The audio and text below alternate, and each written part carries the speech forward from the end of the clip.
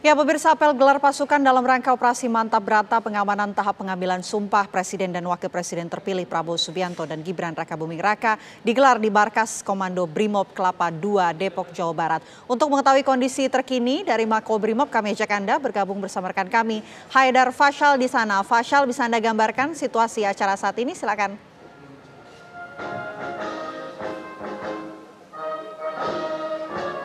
Ya baik Vena dan juga pemirsa. Memang pada hari ini Polisi Republik Indonesia menggelar apel Mantap Berata tahun 2024 yang mana apel ini sendiri bertujuan untuk uh, mengamankan dan juga menjaga keamanan dan juga ketertiban masyarakat guna mendukung kelancaran pelantikan presiden dan juga wakil presiden terpilih yang akan berlangsung pada tanggal 20 Oktober mendatang. Dan memang saya dapat informasikan bahwa pada saat ini upacara, upacara apelnya sudah uh, berakhir. Tadi juga sejumlah tamu undangan sudah hadir di sini uh, termasuk di antara Presiden Joko Widodo juga ada Presiden terpilih Prabowo Subianto dan juga ada Panglima TNI eh, Jenderal uh, Agus Subianto. Dan memang saat ini masih berlangsung seluruh pasukan juga masih berada di lapangan. Dan Vena saya akan ajak anda untuk dan juga pemirsa di rumah untuk berbincang langsung terkait dengan kesiapan sejauh ini uh, Polri dalam mengamankan pelantikan uh, presiden dan juga wakil presiden pada 20 Oktober mendatang. Di sini sudah bersama saya uh, Karo Penmas Divisi Humas Polri Brigjen Pol Truno Yudo. Selamat siang Pak. Selamat siang Mas. Oke Pak, ini kan uh, pelantikan tinggal enam hari lagi.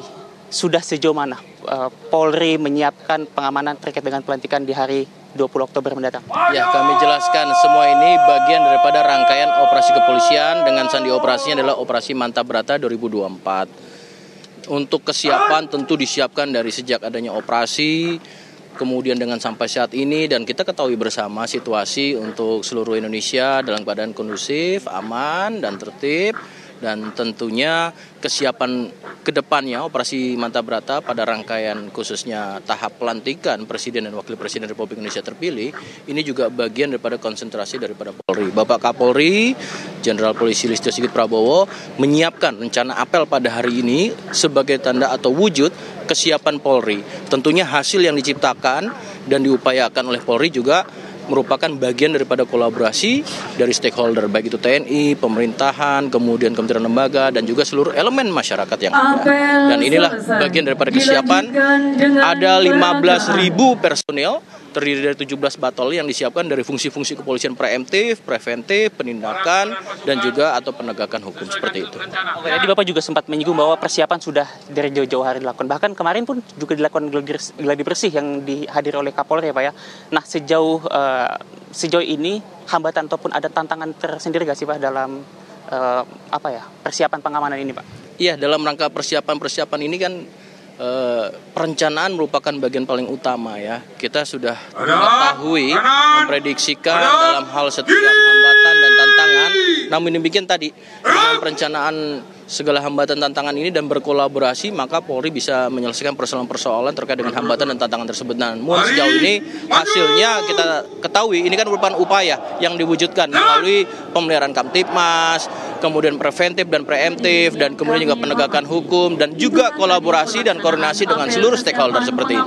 Pak, hari ini selain apel juga informasinya akan ada peragaan-peragaan yang akan dilakukan ya Pak ya? Boleh diinformasikan Pak mungkin akan ada peragaan apa saja Pak dalam Iya, peragaan peragaan ini adalah menunjukkan satuan-satuan Polri ini siap dalam segala hambatan dan tantangan, khususnya dalam prediksi-prediksi yang nanti kita hadapi menjelang 20 Oktober. Namun demikian, ya ini dari fungsi-fungsi kepolisian preemptif, preventif, dan penegakan hukum dilibatkan di sini.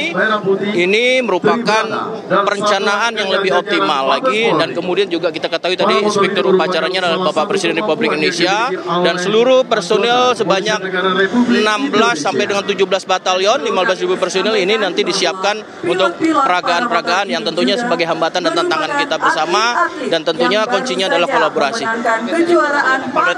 Saat ini tengah berlangsung. Betul, saat ini peragaan-peragaan seperti contohnya ketika ada penyampaian pendapat di muka umum ya dengan tahapan-tahapan eskalasinya seperti apa, nanti tentunya bagaimana untuk mengatasi secara prosedur dan profesional tentu Polri akan menunjukkan di sini pada saat uh, mendemonstrasikan kegiatan peragaan yang dihadapi. Uh, kembali ke upacara tadi, tadi kita melihat bahwa Presiden Joko Widodo dianugerahi medali kehormatan Loka Praja Samaraksana Polri. Bisa dijelaskan Pak, itu terkait penganugerahan apa dan mengapa uh, Polri memberikan kepada Presiden Joko Widodo? Medali kehormatan yang disematkan Bapak Kapolri kepada Bapak Presiden, Bapak Jokowi, yaitu adalah Loka Praja Samraksana. Pemaknaan ini dari bahasa Sansekerta adalah merupakan wujud memberikan perlindungan kepada masyarakat, bangsa, dan negara. Dan tentunya kita ketahui 10 tahun kepemimpinan beliau, Polri berkembang ya dengan organisasinya dalam rangka untuk mengoptimalkan pengabdian dan pelayanan kepada masyarakat termasuk misi-misi kemanusiaan yang dilakukan oleh Polri dan tentunya inilah merupakan medali kehormatan kepada Bapak Presiden dari Bapak Kapolri. Atas waktunya Pak Triyodo. Itu tadi pemirsa uh, perbincangan saya bersama dengan uh, Karopenmas Divisi Humas Polri Brigjen Pol Truno Yudo dan memang perlu saya informasikan bahwa nantinya dalam hari H pelantikan nantinya Polri akan melibatkan setidaknya 15 ribu personel personil untuk memastikan jalannya pelantikan berjalan secara kondusif dan juga aman. Untuk sementara demikian kami kembalikan ke studio. Haidar Fasyar melaporkan langsung dari Mako Brimob Depok. Terima kasih.